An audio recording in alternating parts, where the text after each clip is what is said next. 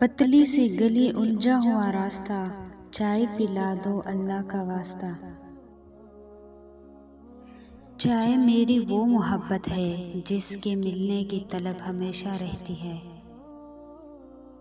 मैं अपने तरीके से निभाता हूँ दोस्ती। मैं रूटे यारों को चाय पिलाता हूँ। फ़िक्र दुनिया से मुनकते होकर आओ बारिश में चाय पीते हैं।